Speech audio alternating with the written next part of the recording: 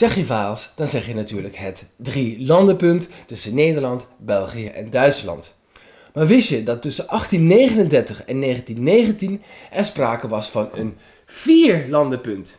En het vierde land, dat heette neutraal Moresnet. Het was werkelijk een, een, een bizar mini-mini-staatje van nog geen 340 hectare groot.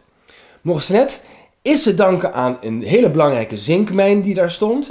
En zowel Nederland als Duitsland wilden die zinkmijn heel graag hebben, met als gevolg dat niemand hem kreeg en het neutrale Moresnet was geboren. En het was al gauw een magneet voor, voor mijnwerkers, maar ook voor criminelen, voor smokkelaars.